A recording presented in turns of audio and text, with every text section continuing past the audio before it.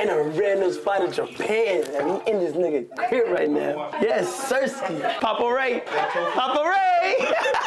Got it. God did. Thank you so much. Appreciate it. Oh, you want use chopstick? Yeah, yeah, yeah, yeah, yeah, yeah, yeah, yeah, yeah, yes, yes, yes, yes. You don't know how to use. Yes, I do, bro. I was in Japan using it. See? Yo, nobody. Yo. Uh, how you do it? No. So teach me the right way. Here. Okay, now go. Do, let me see.